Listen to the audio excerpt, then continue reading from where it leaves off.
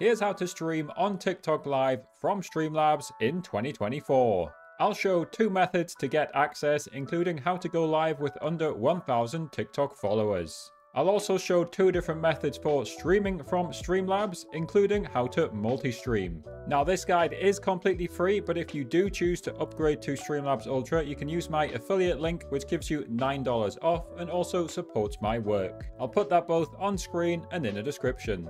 Alright, so we're going to start on streamlabs.com, which is in the description, and either click on dashboard in the top right if you're logged in, or click on the sign up button. And I'm going to recommend that you sign up using a Streamlabs ID account. And once you're signed up, we want to go on streamlabs.com slash dashboard and click on settings in the bottom left and then account settings and platforms. Now you can see I've already merged my TikTok account, but this button will say merge. So just add your TikTok account. And if you're choosing to multi-stream, add any other accounts you have as well. Now, unfortunately, TikTok does not automatically give you access to Streamlabs live streaming. So you need to do one of two things. To stream from Streamlabs, you can either use this application form, and I'll put this in the description. However, it seems a lot of people get rejected from that application form, so my recommended method is join a free-to-join agency who can give you a TikTok stream key, and this allows you to use Streamlabs OBS or any live streaming software. So this is a verified list of agencies you just choose one from your country and I'll put this in the description. So whether you've used the application form or you've joined a free to join agency on Streamlabs dashboard, click on download Streamlabs in the top left corner. So once you've opened Streamlabs desktop, let's now look at two different ways that you can stream from it. The first method just uses a single canvas. And if you're using the free version of Streamlabs, this just means you can stream to one platform. Or if you've bought Streamlabs Ultra, it means you can multi-stream to as many platforms that allow either landscape or vertical. And by the way, TikTok lets you live stream in both landscape or vertical, so that's up to you. But if you're not sure, I suggest you stream in vertical mode on TikTok. So let's look at how to get the vertical canvas. So we're going to click on settings in the bottom left corner, click into video, and under base canvas resolution, you set it to custom, and then you type 1080x1920 into both of these boxes, and then set the filter to 32 samples and set 60 FPS. Once you've done that, once you press done, it will change the canvas from landscape to vertical. Of course, if you just want to stream in landscape mode on TikTok, just leave it on 1920 by 1080. Now, the second way to live stream from Streamlabs desktop uses the dual output mode. This is going to give you both a landscape and a vertical canvas, so you can multi-stream for free to two platforms, or you can multi-stream with Streamlabs Ultra up to eight platforms. So let's look at how to set up this dual output canvas. Let's click on settings in the bottom left and click onto video. And the key thing here is in the top right corner, you enable the dual output and you can copy these horizontal settings and into vertical, make sure it's the reverse, so 1080 by 1920, and you can copy these settings as well. Once you've done all that, you just press done, and you should have two nice horizontal and vertical outputs. Keep in mind, if you're using dual output, it will use double the upload speed because you're sending both a horizontal and a vertical canvas but regardless of which method you've just used, let's look at how to set up a basic live stream like you're seeing here. Just before that, if you want the latest live streaming news and tips on how to monetize and grow your live stream, then I send out a free newsletter to over 1800 creators. I'll put that in the description. All right, so let's look at how to set up your live stream on Streamlabs now.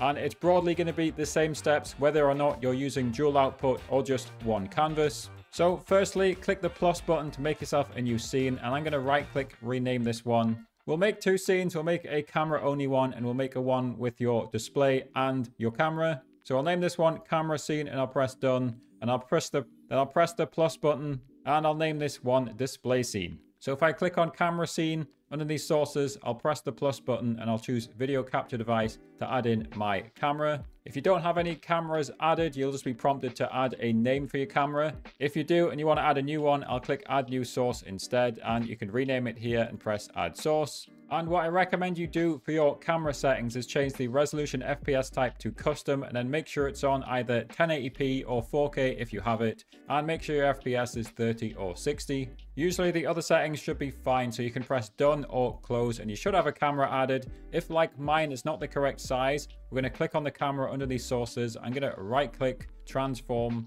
and I'm going to fit to screen. Now we can see because I'm using dual output, it's added it in both places. If you want to hide something from one or the other canvas, if you just hover over, you can see I've got these buttons here. So if I click on one of them, this one hides it from horizontal and this one hides it from vertical. Now, of course, I want to resize mine in vertical because this is our full screen camera display. So just our camera. So I'm basically going to click on it and in the vertical canvas, I'm going to drag it down to the bottom and drag it up to the top. And if I want to center it perfectly, right click, transform, center horizontally. It was basically centered perfectly anyway, but that's a little trick to center things perfectly. So let's move to our display scene now. Underneath sources, press the plus button.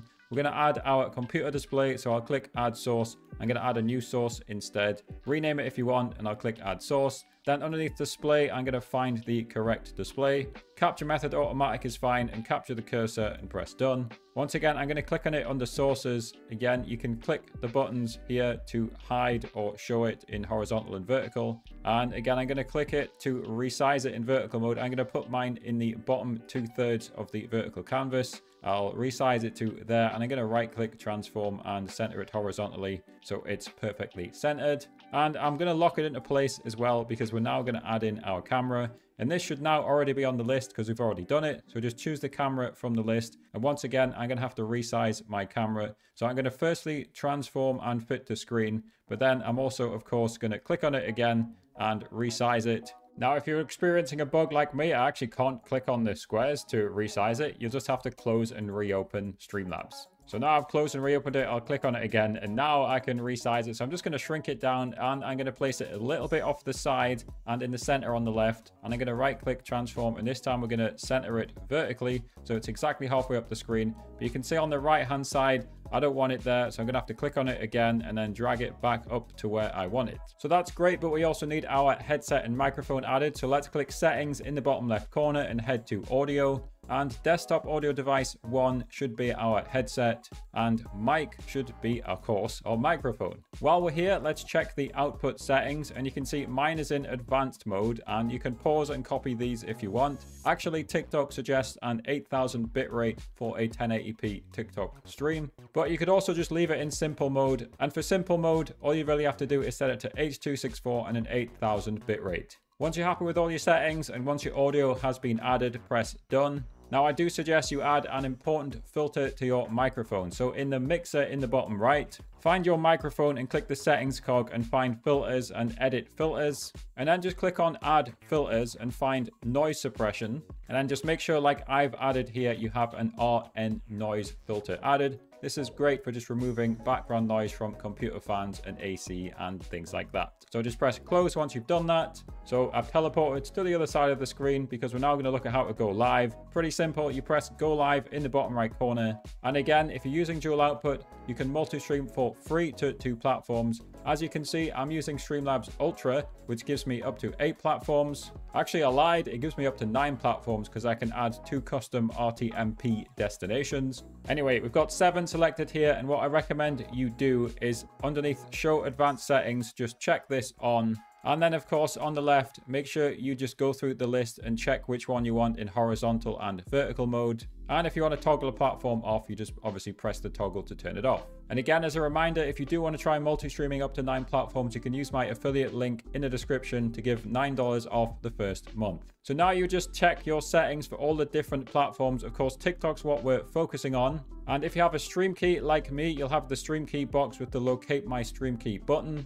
Don't forget, by the way, the TikTok stream key changes every time. If you haven't applied for access yet, you'll press this button, which will redirect you to this page to apply for access. If you've been natively granted access to Streamlabs, then this is low res, but this is the image provided by Streamlabs themselves. And this is the live monitor that will appear once you go live. So if you have the native access and not a stream key, all you'll be asked for is a title here with no stream key. Anyway, once you've entered all the relevant information, you just press confirm and go live. Now again, unfortunately, the TikTok chat will not be inside Streamlabs, so it should pop up this link to read your TikTok chat or you can also create a second account, give it moderator, and just view the chat from your phone. Now, you probably want some live stream alerts for TikTok added to your Streamlabs, and Tikfinity can do that. So on screen now is my entire Tikfinity guide.